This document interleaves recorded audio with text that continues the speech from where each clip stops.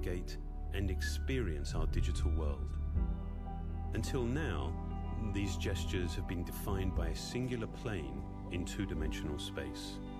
For iPhone 6s and 6s Plus, we're introducing an entirely new interaction and a whole new dimension to the way you experience your iPhone.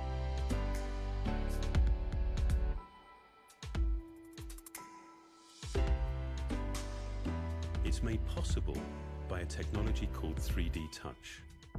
This is the next generation of multi-touch. For the first time, along with recognizing familiar gestures, iPhone also recognizes force, enabling new gestures, peek and pop.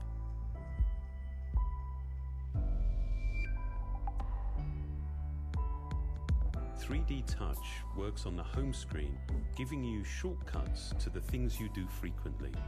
It also works inside applications themselves. Press lightly and it gives you a peek at the content. Continue pressing and it pops you into the content itself.